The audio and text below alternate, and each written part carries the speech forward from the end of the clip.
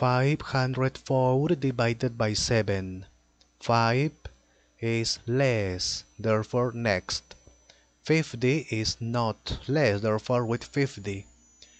7 multiplied by which number is nearest to 50 but not greater 7 multiplied by 8 is 56 is greater multiplied by 7 49 is not greater. Okay subtract 50 minus 49 is 1 next 14 7 multiplied by 2 14 is not greater.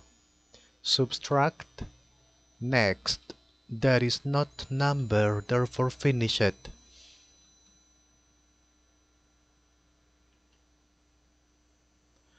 Okay, 504 divided by 7 is 72.